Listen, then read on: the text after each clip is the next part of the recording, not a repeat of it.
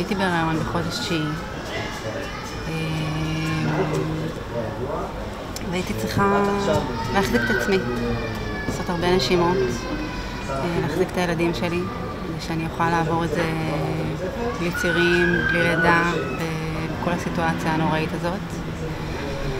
אה, ואחרי תשעה ימים, אחרי שאנחנו כבר באילת, שהגענו מהקיבוץ, ילדתי פה ביוספטל, בת רביעית של דולה ושלי.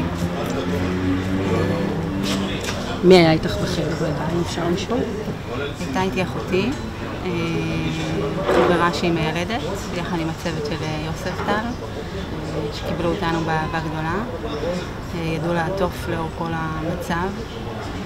לידה הייתה, מבחינה פיזית, לידה מאוד מאוד טובה, מבחינה נפשית לא פשוטה בכלל. בכי תוך כדי, המון מחשבות, זה שדולב לא נמצא איתי. הוא אמור להיות איתי בלידה, זה משהו שהוא שלנו. מצד אחד היה שמח מאוד, תינוקת בריאה, מהממת, יפהפייה. מצד שני, החצי שלי לא איתי. עם ישראל צריך, אה, הוא עושה את זה. הוא נלחם שכולם יחזרו. ילדים, נשים, גברים, מבוגרים, זה לא משנה מי, כל מי ששם צריך לחזור. כל מי ששם הוא חלק ממשפחה.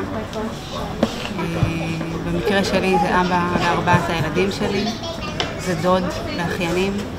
אה, אז אם הוא שומע, אני מקווה שהוא שמח שנולדה לו בת רביעית, ואולי זה נותן לו כוח. אה, כי אני בטוחה שהוא צריך כוח לכל הדבר הזה. אני משתדלת להיות הכי חזקה שאני יכולה, גם בשביל הילדים שלי וגם בשבילו. אני מקווה ורוצה ומאמינה שהוא יחזור. זה בסדר להתחיל עם ילדים וזה בסדר להתחיל עם נשים, וגם לי יש גיסה שצריכה לחזור, וגם עליה אנחנו נלחמים, וגם אותה אנחנו מחכים לראות ברשימות כל ערב, בטלטלה הרגשית המטורפת הזאת.